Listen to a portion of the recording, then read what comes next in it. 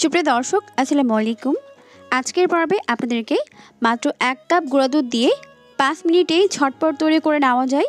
দুনিয়ার সব থেকে সহজ, মিষ্টি রেসিপি আপনাদেরকে তৈরি করে দেখাবো। আর সেটা হচ্ছে কাঁচা গোল্লা। আর যারা মিষ্টি তৈরি করাকে ঝামেলার মনে করেন, তারাও কিন্তু চাইলে ঝটপট এইভাবে মিষ্টিটিকে তৈরি করে নিতে পারবেন। আশা করছি রেসিপিটি ভালো লাগবে। কাঁচাগোল্লা তৈরি করার জন্য প্রথমে আমরা ছানাটাকে তৈরি করব। এই জন্য প্রথমে একটি প্যানের মধ্যে নিয়ে নিচ্ছি এক কাপ গুঁড়া দুধ। আর আপনারা যে কোনো ব্র্যান্ডের গুঁড়া দুধ অর্থাৎ মিল্ক পাউডার ব্যবহার করতে পারেন। এখন এক কাপ গুঁড়া দুধের মধ্যে আমি দিয়ে দিচ্ছি সাড়ে তিন কাপ পানি। আর এটা নর্মাল তাপমাত্রার পানি। আর অবশ্যই এই কাজটি চুলায় ওঠানোর আগে করে নিতে হবে। না হলে কিন্তু পরে দেখা যাবে গুঁড়া দুধগুলো দলা পেকে যেতে পারে। পানি দেওয়া হয়ে গেলে এখন এগুলোকে খুব ভালো মতো মিক্স করে নিচ্ছি।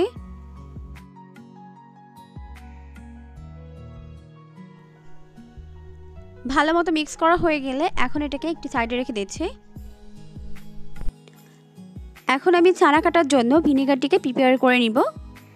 তো এই জন্য একটি পাত্রের মধ্যে নিয়ে নিচ্ছি ওয়ান থার্ড কাপ পানি।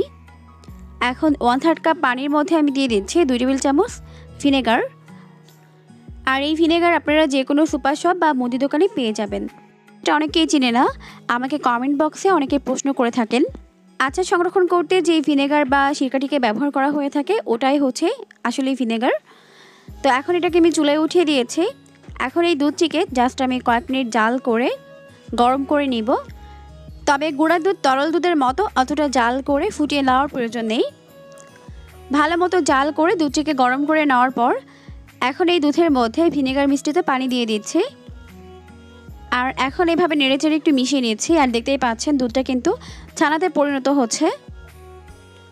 এক মিনিটের মতো জাল করার পর দেখা যাবে, পানি আর ছানা এইভাবে আলাদা হয়ে গেছে। তখন এটাকে আমি চুলা থেকে নামিয়ে নিব।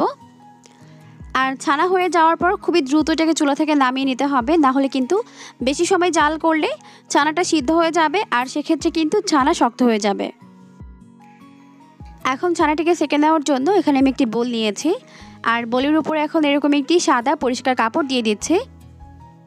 আর অবশ্যই চেষ্টা করবেন সাদা কাপড় নেওয়ার জন্য। কারণ অনেক সময় দেখা যায় কালারফুল কাপড় নিলে গরম ছানা কালারটিকে টেনে নেয়।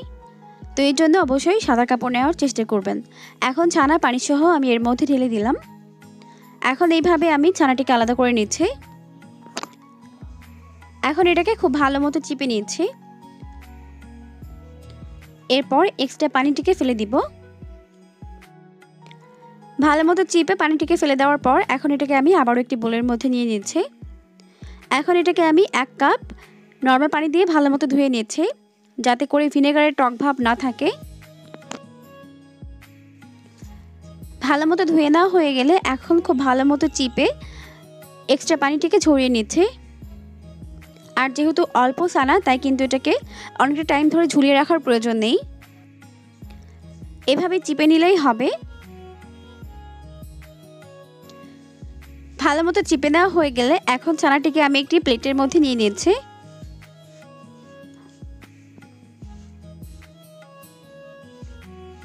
এখন হাত দিয়ে ছানার শক্ত অংশগুলোকে এইভাবে ভেঙে নিচ্ছি।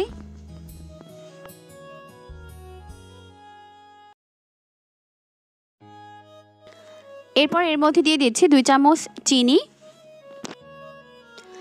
এখন খুব ভালো মতো ছানার সঙ্গে চিনিটিকে মিশিয়ে নিচ্ছি।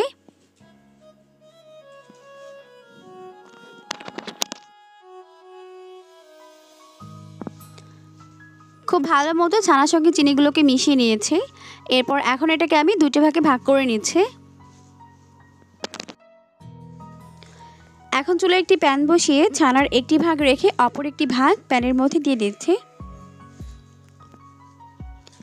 এখন এর মধ্যে দিয়ে দিচ্ছি one third cup condense milk এরপর ছানার সঙ্গে কনডেন্স মিল্কগুলোকে খুব ভালো মতো মিশিয়ে নিচ্ছি। চুলা রাসটিকে লো ফ্লেমে রেখে এটাকে এক মিনিটের মতো এভাবে মিশিয়ে নিলেই হবে। এক মিনিটের মতো ভালো করে মিশিয়ে নেওয়ার পর এটাকে এখন আমি চুলা থেকে নামিয়ে নিচ্ছি। এর থেকে বেশি ড্রাই করলে কিন্তু পরে আর কাঁচাগুলো শেপ দিতে পারবেন না। তাই এরকম একটু আঠালো থাকতে এটাকে চুলা থেকে নামিয়ে নিতে হবে। এটাকে চুলা থেকে নামিয়ে বাকি অর্ধেক যে ছানা ছিল ওর মধ্যে দিয়ে দিচ্ছি। এরপর এই দুইটি ছানা একসঙ্গে খুব ভালো মতো মিশিয়ে নিয়েছে যখন দেখবেন এই মিশ্রণটিকে হাত দিয়ে এভাবে ধরা যাচ্ছে তখন এটাকে ভালো মতো মিক্স করে নিতে হবে। ঠান্ডা হয়ে গেলে কিন্তু কাঁচাগোল্লা শেপগুলো পারফেক্ট হবে না। তো এখন খুব ভালো মতো এগুলোকে মিশিয়ে নিচ্ছে। খুব ভালো করে মিশিয়ে নেওয়ার পর এখন এখান থেকে অল্প অল্প করে ছানার মিশ্রণ নিব। এরপর হাতের মধ্যে এভাবে নিয়ে গোল আকৃতির করে নিব। ব্যাস, তৈরি হয়ে গেল একটি কাঁচাগোল্লা শেপ এটাকে আরও একটু আকর্ষণীয় করার জন্য আমি এখন এটাকে গুঁড়ো দুধের মধ্যে গড়িয়ে নিব।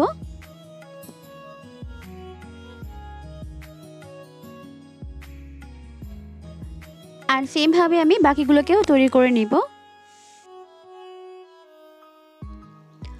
সেমভাবে সবগুলোকে বানিয়ে নেওয়া হয়ে গেলে এখন একটি মিষ্টি আমি আপনাদেরকে একটু কেটে দেখাচ্ছি।